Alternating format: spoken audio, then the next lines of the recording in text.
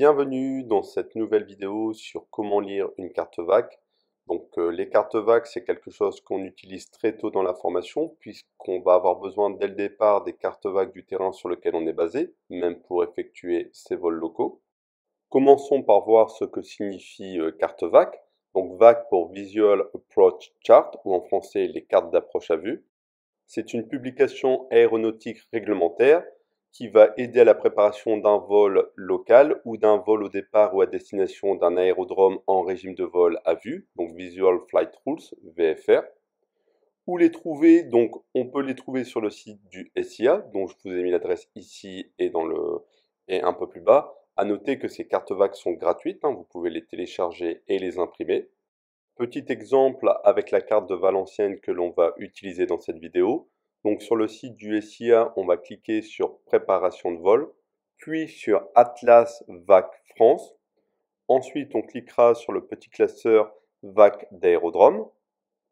Et dans la page de saisie, on saisira soit le nom de l'aérodrome, par exemple ici Valenciennes de Nain, ou si on connaît son code OACI, on indiquera le code OACI. Donc par exemple ici, Lima Fox Alpha Victor pour euh, Valenciennes. Ensuite, on sélectionne euh, la carte VAC et on n'a plus qu'à la télécharger. En fonction des particularités ou de la complexité du terrain, la carte VAC contiendra plus ou moins de pages, mais généralement on aura une première page avec la carte et d'autres pages avec du texte. A noter que chaque page a une identification, donc un numéro. Par exemple, la première page sera ATT01, la seconde page TXT01, la troisième page TXT02, etc. À noter qu'une carte VAC a une date de validité et que chaque page a une date de validité qu'on retrouvera en bas de la carte. Donc par exemple ici sur la première page, la page d'atterrissage 01, on voit que la carte qui a été créée euh, en janvier 2022 a un amendement au 6 0622, donc juin 2022, avec, on voit ici, il y a eu un changement concernant la fréquence RR voltige et au niveau des obstacles. Donc il faudra toujours s'assurer d'avoir la carte, euh, la carte VAC euh, la plus à jour possible. On commence la lecture avec la carte d'atterrissage 01 qui peut elle-même être découpée en plusieurs parties. Donc tout d'abord l'entête. Donc à gauche le type de carte, carte d'atterrissage à vue.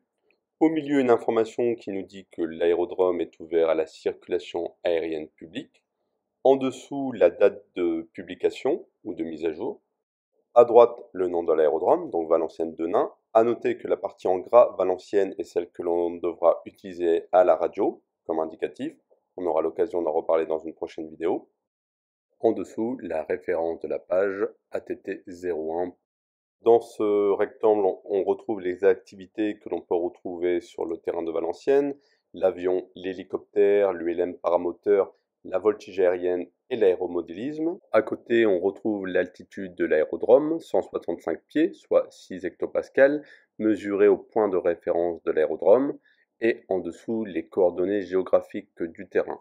Tout à droite, on retrouve le code OACI du terrain, Lima Fox Alpha Victor, ainsi que la déclinaison magnétique, 0 degré. Entre parenthèses, les deux derniers chiffres de l'année de mesure de cette déclinaison. On arrive à la partie communication où on va retrouver les principales fréquences radio. Donc ici, pas d'approche, pas de tour, mais seulement un agent AFIS. On a également l'information qu'en cas d'absence de l'agent AFIS, les communications RR devront être faites obligatoirement en français. Donc à noter qu'en fonction du type de terrain et de leur complexité, on retrouvera éventuellement des fréquences tours, euh, la fréquence d'un ATIS, etc. Ensuite, on passe à la carte. Comme vous le voyez, euh, elle contient beaucoup d'informations. Donc on va retrouver au centre le terrain et la piste principale avec les deux QFU, ici 11-29. On voit que le 11 est entouré, cela indique que c'est la piste préférentielle. En cas de vent de travers ou en cas d'absence de vent, ça sera la piste à privilégier. On va retrouver ici les trajectoires des différents circuits avec l'altitude et entre parenthèses la hauteur euh, du circuit. Donc euh, en noir continu pour euh, les avions, en noir discontinu pour les planeurs et en vert les trajectoires pour les hélicoptères. A noter ici une particularité, La trajectoire totale du circuit est dessinée et donc imposée au pilote. Ce n'est pas toujours le cas. Par exemple, sur une autre carte ici, Cambrai-Nierny, seul le dernier virage est indiqué. Pour info, le sens de la flèche indique le sens du tour de piste. Par exemple, si le dernier virage est à gauche, cela voudra dire que le circuit se fait à gauche et que tous les virages du circuit se font à gauche. Donc si on revient à notre carte, on va retrouver en bleu tout ce qui est les cours d'eau, fleuves, étendues d'eau, etc. En vert, tout ce qui va être forêt. Ici, les routes et autoroutes. Là, les chemins de fer. Et ici, les lignes électriques. Les flèches bleues représentent les aérodromes, obstacles importants ou balises de radio-navigation voisines, avec leur radiale distance associée. Exemple en haut à gauche, le VOR euh, Lima Eco-Québec de la fréquence 109.0 se trouve sur le radial 134 degrés à 20 nautical miles. Les grosses bandes représentent des espaces aériens, donc en bleu foncé pour les espaces de classe D, en bleu clair les espaces de classe Eco et en rouge, il n'y en a pas ici, les espaces de classe Alpha, rouge pour signaler qu'ils sont bien interdits au vol VFR. Sur la bande, on va retrouver les informations suivantes, le nom de la TMA, à qui elle appartient, la classe d'espace ainsi que les limitations verticales.